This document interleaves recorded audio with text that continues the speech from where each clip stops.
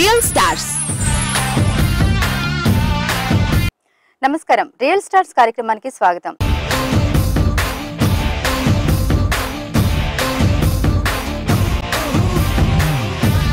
Real stars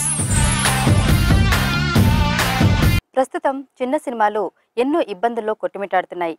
ఇలాంటి నేపథ్యంలో చిన్న సినిమాలు మనుగడ సాగించాలి అంటే ప్రభుత్వం నుంచి ఎలాంటి ప్రోత్సాహకాలు అవసరం? అలాగే సినిమా ఇండస్ట్రీ పెద్దల్లో ఎలాంటి మార్పులు రావాలి? ఇలాంటి విషయాల గురించి మనతో పంచుకోవడానికి నిర్మాతల మండలి జనరల్ సెక్రటరీ ప్రసన్న కుమార్ గారు అలాగే మాతృదేవోభావ లాంటి ఆణిముత్యాలను మనకు అందించిన సీనియర్ డైరెక్టర్ కేతినేని అజయ్ కుమార్ గారు ప్రస్తుతం మనతో పాటు చరణ్ టీవీ స్టూడియోలో ఉన్నారు. వాళ్ళని అడిగి మరిన్ని విషయాలు తెలుసుకుందాం.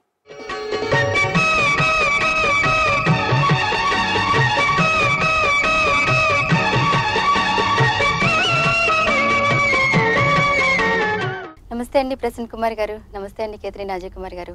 మా చరణ్ టీవీ స్టూడియోకి స్వాగతం మీకు. ప్రసన్న కుమార్ గారు ముందుగా మీరు చెప్పండి. అసలు మీరు ఇప్పుడు నిర్మాతల మండలి జనరల్ సెక్రటరీగా ఉన్నారు. ప్రస్తుతం అసలు సినిమా ఇండస్ట్రీ పరిస్థితి ఏంటి? సినిమాలు ఏ పొజిషన్లో ఉన్నాయని మీరు అనుకుంటున్నారు? అంటే సినిమా ఇండస్ట్రీ పరిస్థితి చూస్తే ఇప్పుడు ఒక పెద్ద సినిమాలుగా బాహుబలి ఎక్స్ట్రాడినరీ అంటే తెలుగు సినిమా స్టామినా ఎంత అనేది వరల్డ్కి ఫస్ట్ టైం తెలియజెప్పింది. ఆ తెలియజెప్పిన దాంట్లో టోటల్గా రాజమౌళి గారి రాజమౌళి గారి ఫ్యామిలీ ఎఫర్ట్ ప్లస్ దానితో యాక్ట్ చేసిన వాళ్ళందరి ఎఫర్ట్ కూడా ఇవాళ ఒక తెలుగు సినిమా వంద కోట్లకు రీచ్ అవుతుంది అనేది కూడా ఒక కల్లాగా అనుకునే దగ్గర ఇవాళ నాలుగు వందల కోట్ల రేంజ్లో తెలుగు సినిమా రీచ్ అవ్వటం అనేది ప్రపంచం మొత్తంలో తెలుగు సినిమాకు గర్వపడే సినిమా వచ్చింది బాహుబలి. దా అలా అది బాహుబలికి ఒక్కదానికే జరిగింది. ఇదేదో జస్ట్ ఫ్లూక్ అని అనుకునే పరిస్థితి కాకుండా ఎమ్మటే శ్రీమంతుడు మహేష్ బాబుది. అంటే ఒక ఊరు దత్తత తీసుకుంటాం అనే పాయింట్ మీద శ్రీమంతుడు వచ్చింది. శ్రీమంతుడు కూడా హండ్రెడ్ క్రోర్స్ క్లబ్ దాటి క్రాస్ అయ్యి వెళ్ళిపోయింది. సో ఇదేదో ఫ్లూక్ కాదు ఇది స్టామినా అనేది ప్రూఫ్ ప్రూవ్ అయింది. సో ఈ రెండు సినిమాల కంటిన్యూషన్లో సినిమా చూపిస్తామా దాని తర్వాత భలే భలే మగాడవే ఈ కూడా వచ్చింది. ప్లస్ మనకేంటంటే ఎప్పుడు కూడా వైడర్గా మనకు ఆంధ్రప్రదేశ్ తెలంగాణ కర్ణాటక ఒరిస్సా నార్త్ ఇండియా తమిళనాడు ఇట్లా అనుకున్న దీంట్లో ఓవర్సీస్లో మన మార్కెట్ ఇంతవరకు అనే దగ్గర చూసుకుంటే మనకు ఓవర్సీస్ మార్కెట్ని మహేష్ బాబు మొదటి నుంచి ఒక స్టామినాతో లీడ్ చేసుకుంటూ వచ్చాడు. సో అది మహేష్ బాబుకిను ఓన్లీ స్టార్ ఫిల్ హీరోలకు మాత్రమే పరిమితం అనుకునే దగ్గర శేఖర్ కమల్ వచ్చి తనకు కూడా ఇండివిజువల్గా ఒక డైరెక్టర్గా కూడా తనకు ఒక మార్కెట్ ప్రూవ్ చేశాడు. ఇవాళ ఒక చిన్న హీరోగా నాని కూడా భలే భలే మగాడువే అనేది చిన్న హీరోలకు కూడా ఓవర్సీస్ మార్కెట్ ఉంది అని ప్రూవ్ చేశాడు. సో ఇలా ప్రూవ్ చేయటం మూలంగా సినిమా ఇండస్ట్రీ వైడర్ మార్కెట్కి రీచ్ అవ్వటం ఒక తెలుగు ఇండస్ట్రీ స్టామినా పెరగటం ఇది పనికొచ్చింది. ఇదంతా ఒక ఎత్తు అయితే ఇవాళకి కూడా చిన్న సినిమాలకి ప్రాపర్గా థియేటర్లు దొరక్క చిన్న సినిమాలు రిలీజులకు ఇబ్బందులు ఉండే పరిస్థితులు ఉన్నాయి మనం ఎవరిని అడిగినా కూడా ఏమంటే నాలుగు సినిమాలు బ్రహ్మాండం కానీ అని చెప్పి చెప్పొచ్చు కానీ రియలిస్టిక్గా చెప్పాలంటే థియేటర్స్ థియేటర్స్ రెంటల్స్ అబ్నార్మల్గా పెరగటం టికెట్ రేటు దాని మూలంగా గ్రాసులు పెరగటం దాంతో చిన్న సినిమా సర్వైవల్ అవ్వని పరిస్థితిలో ఉంది. ఈ పరిస్థితి నుంచి సర్వైవల్ కాపాడాలంటే హండ్రెడ్ పర్సెంట్ అటు గవర్నమెంట్ పరంగా చిన్న సినిమాలకు రాయితీలు కానీ దానికి సబ్సిడీలు అలాగే ట్యాక్స్ కన్సెషన్లు కానీ ఇవన్నీ ఇస్తూ అలాగే ఇండస్ట్రీ పరంగా కూడా దానికి రాయితీలు ఎలా ఇచ్చి చిన్న చిన్న సినిమాని బతికించుకోగలిగితేనే ఇండస్ట్రీ మనుగడ ఉంటుంది. ఎప్పుడైనా కూడా ప్రతి ఒక్కళ్ళు ఒక రాజమౌళి ఓవర్ నైట్ వాళ్ళ బాహుబలితో రాలి ఒక స్టూడెంట్ నెంబర్ వన్ నుంచి వచ్చి బా బాహుబలి రాజమౌళి అయ్యాడు. అలా ప్రతి డైరెక్టర్ ప్రతి టెక్నీషియన్ చిన్న నుంచినే పెద్దడవుతాడు. సో చిన్న నుంచి పెద్దాడు అవ్వాలంటే ఆ చిన్న సినిమా ఆ న్యూ ఇన్వెన్షన్ అనే దగ్గర దాన్ని కాపాడుకోగలిగితేనే ఇండస్ట్రీ మనుగడ ఉంటుంది. దాన్ని కాపాడుకోగలగటానికి డెఫినెట్గా ప్రభుత్వం కానీ అంటే ఇవాళ రెండు రాష్ట్రాలైన తెలంగాణ ఆంధ్రప్రదేశ్. సో రెండు రాష్ట్రాల గవర్నమెంట్లు కూడా ఆలోచించి దీనికి కంపల్సరీ చిన్న సినిమాని ప్రమోట్ చేయగలిగే పరిస్థితి. అంటే గతంలో మన సంపూర్ణ రామాయణం కానీ క్షేమంగా వెళ్ళి లాభంగా రండి కానీ మాతృదేవబలు కానీ ఇలాంటి చిన్న సినిమాలు స్టార్టింగ్ పాయింట్లో కొంచెం స్లోగా స్టార్ట్ అయ్యి తర్వాత ఎక్స్ట్రాడినరీ హిట్ అయ్యి రెవెన్యూస్ పెరగటం అనేది. ఇవాళ అలా స్టార్టింగ్ పాయింట్లో ఈ ఇబ్బందులు పడుతున్న సినిమాల్ని సో ఏ సపోర్టు లేకుండా ఒక చిన్న సినిమాకి కోఆపరేట్ చేసి చిన్న సినిమాని మనుగడ కాపాడగలిగితేనే ఇండస్ట్రీ బాగుంటుంది. ఓకే. అయితే ఇప్పుడు కేతిని అజయ్ కుమార్ గారు మీరు చెప్పండి మాతృదేవోభావ లాంటి సూపర్ డూపర్ హిట్ మూవీకి మీరు దర్శకత్వం వహించారు. అది అసలు ఇంటర్నేషనల్ లెవెల్లో మంచి పేరు వచ్చింది ఆ మూవీకి. ప్రస్తుతం ఉన్న సినిమాల్ని చూస్తుంటే మీకేమనిపిస్తుంది? ఒక సీనియర్ దర్శకుడిగా. ఇప్పుడు ఇత్తు ముందా చెట్టు ముందా అన్నట్టుగా చిన్న సినిమాలు వస్తున్నాయి బాగానే. అయితే ఏమవుతుందంటే ఈ డిజిటల్ వచ్చిన తర్వాత కాస్ట్ ఫ్యాక్టర్ లేకుండా ఫైవ్ ల్యాక్స్ కూడా సినిమా చేసే పరిస్థితి వచ్చింది. అలాగని ఇలాంటి సినిమాలతోటి థియేటర్లోకి వెళ్ళి సర్వైవ్ అవ్వలేవు. థియేటర్ సర్వైవ్ ఆ ప్రాబ్లం కూడా ఉంది. దానివల్ల మంచి సినిమాలు చిన్న సినిమాలు మంచి తీయగా తీసిన సినిమాలు కూడా ఎఫెక్ట్ అవుతుంది. థియేటర్ వాళ్ళు ఏమంటున్నారు? మీరు ఇప్పుడు ఈ సినిమాలన్నీ ఇలా వస్తున్నాయి కాబట్టి ఐదు లక్షలు పది లక్షలు డిజిటల్ సినిమాలు శాటిలైట్ సినిమాలు అని చెప్పనేసి అని ఆ లెవెల్లో కూడా సినిమాలు వస్తున్నాయి. అందుకని కంప్లీట్గా వాళ్ళని కూడా బ్లేమ్ చేయలేమండి. ఎగ్జిబిటర్స్ని కూడా కంప్లీట్గా బ్లే బ్లేమ్ చేయలేము ఇప్పుడున్న సిస్టంలో ఒక స్క్రీనింగ్ అనేది ఉండాలి. ఛాంబర్ తరపున కానీ ఎలా కానీ అసలు ఇది ఎలిజిబుల్ ఉందా లేదా థియేటర్లో ప్రదర్శించాలంటే? అది మెయిన్ ప్రాబ్లం అయిందండి ఇప్పుడు. Number of shows number of సినిమాలు వస్తున్నాయి.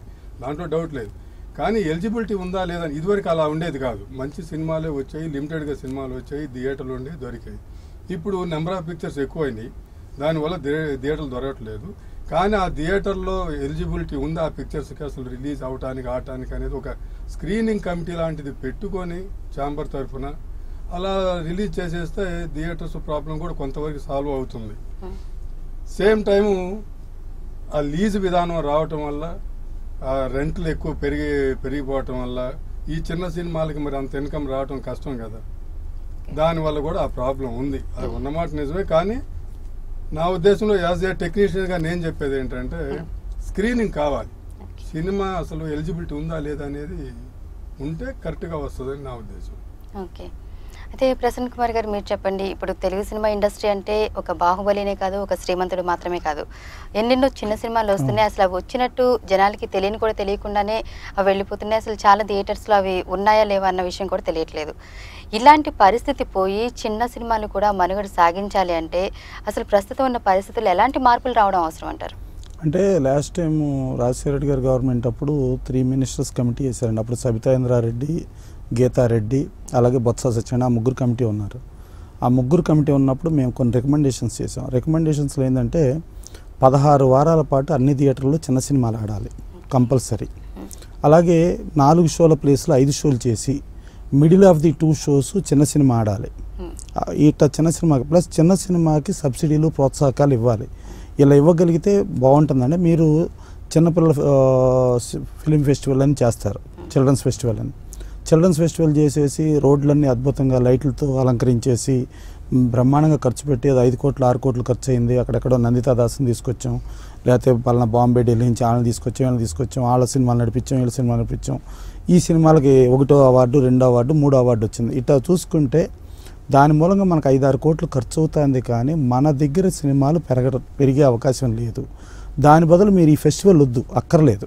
ఈ ఫెస్టివల్ బదులు ఈ ఐదారు కోట్ల రూపాయలు ఇక్కడ తీసే సినిమాలకి అంటే యాక్చువల్గా ఏంటంటే మనకు సుడిగుండాల నుంచి మొదలెట్టుకుంటే చిన్న సినిమాలు తీసిన దగ్గర చూసుకుంటే మనది ఫస్ట్ ప్రయారిటీ అండి తెలుగు ఇండస్ట్రీ. ఇవాళ ప్రోత్సాహకాలు లేకపోయేటప్పుడు చిన్న సినిమాలు తీయలేని పొజిషన్. ఇప్పుడు శిఖరం ది పీక్ అని చెప్పి ఒక చిన్న సినిమా చేశాడు ఒక అతను ఒక డైరెక్టరు సినిమా చేసి అతను ఒక నలభై లక్షల ఫ్లాట్ అమ్మేసేసి ఆ నలభై లక్షలు తీసుకొచ్చి ఇక్కడ పెట్టాడు. ఓ పిల్లల సినిమా ఒక అద్భుతమైన సినిమా తీశారు.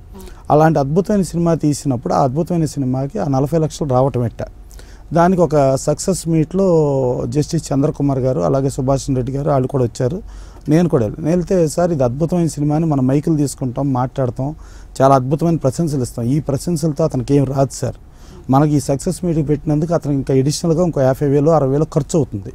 ఇది కాదు సార్. ఇది చేయాల్సింది మీరు. అతనికి ఫైనాన్షియల్ హెల్ప్ చేయాలి. అంటే గతంలో బాలరామాయణం అని ఎంఎస్ రెడ్డి గారు సినిమా తీసినప్పుడు ఆయనకి సబ్సిడీ ఇచ్చారు ఆయన ట్యాక్స్ ఫ్రీ ఇచ్చారు అన్నీ చేశారు.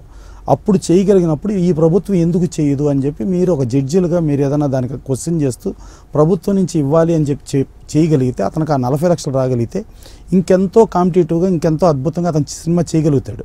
అతని దగ్గర ఇంకెన్నో థాట్స్ ఉంటాయి. సో అతనికి ఎప్పుడైతే ఫైనాన్షియల్ నష్టం జరిగి నేను ఈ సినిమా తీయటమే తప్పు చేశానా అన్న ఫీలింగ్లో ఉన్నప్పుడు అతని థాట్స్ అన్నీ చచ్చిపోతాయి. సో అలా చచ్చిపోకుండా బతికించుకోగలిగితే ఇండస్ట్రీ బాగుంటుంది. ఇది ప్రభుత్వ పరంగా ప్రభుత్వం చేయాలి అలాగే పరిశ్రమ పరంగా పరిశ్రమ చేయాలి.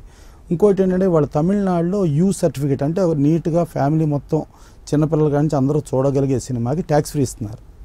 అదే తమిళనాడులో మన తెలుగు సినిమా ఇవ్వాలంటే ముప్పై పర్సెంట్ ట్యాక్స్ అండి. అదే తమిళ సినిమా మన తెలంగాణ కానీ ఆంధ్రప్రదేశ్లో కానీ చేయాలంటే కేవలం పదహారు పాయింట్ ఐదు ఆరు ట్యాక్స్ అండి. అంటే తమిళ సినిమాకి మనం ప్రోత్సాహకాలు ఇక్కడ ఇస్తున్నాం కానీ మన తెలుగు సినిమాకి తమిళనాడులో లేదు.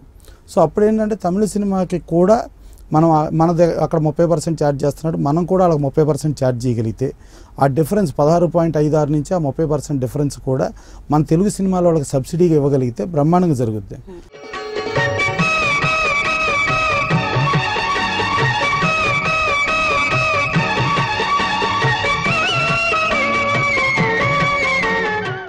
అయితే కేతినేని గారు మీరు చెప్పండి ఇప్పుడు ఉన్న సినిమా ఇండస్ట్రీని గమనిస్తే ఇప్పుడు వస్తున్న సినిమాలను చూస్తే చాలా వరకు కమర్షియల్కే ఎక్కువ ప్రాధాన్యత ఇస్తున్నట్లుగా తెలుస్తుంది. కానీ ఎందుకు ఒక మాతృదేవభావ లాంటి సినిమాలని కానీ మెసేజ్ ఓరియంటెడ్ సినిమాలు అట్లాగే సామాజిక దృక్పథంతో ఉన్న సినిమాలకి ఎందుకు ప్రాధాన్యత ఇవ్వట్లేదు అలాంటి సినిమాలు ఎందుకు రావట్లేదు మళ్ళీ మాతృదేవభావ లాంటి మూవీస్ రావాలంటే ఎలాంటి మార్పులు రావాలి ఏం చేయాలంటారు అసలు? అదేనండి ఇందాక నేను చెప్పినట్టుగా ఇప్పుడు కూడా మెసేజ్ ఓరియంటెడ్ వస్తున్నాయి. ఎందుకు రావట్లేదు? వస్తున్నాయి. డెఫినెట్గా వస్తున్నాయి. కానీ అవి బయటకు రావట్లేదు. సినిమాలు ఉన్నాయి. అవి బయటకు రావటం లేదు. రిలీజ్ అవ్వటం లేదు. అదే ప్రాబ్లం వీటన్నిటికీ ఆన్సర్ ఒక్కటే నేను చెప్పినట్టుగా.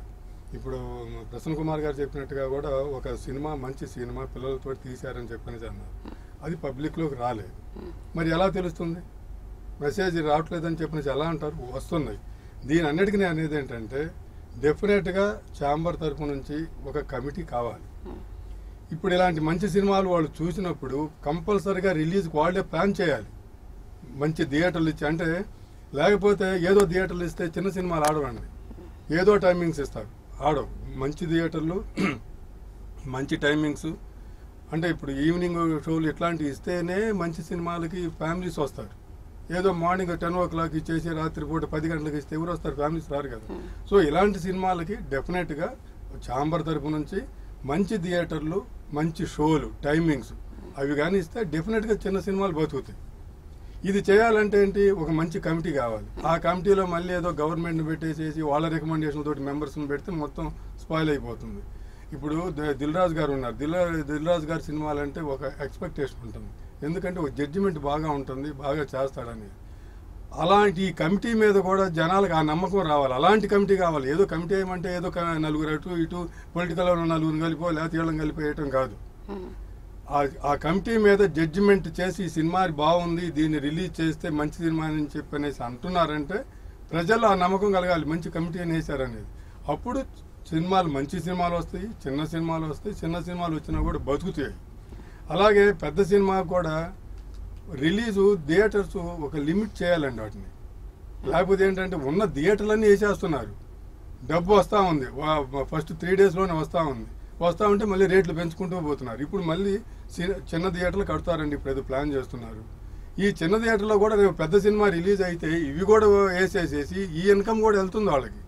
ఇంకా వాళ్ళకి పెరుగుతుంది తప్పితే ఇవి చిన్న సినిమాలకు ఇస్తారని గ్యారంటీ లేదు. అందుకని ఒక పులి స్టాప్ పెట్టాలంటే థియేటర్స్ కంట్రోల్ ఉండాలి. అంటే ఒక పెద్ద హీరో కూడా ఇన్ని థియేటర్లే ఆ పైన చేయడానికి లేదు.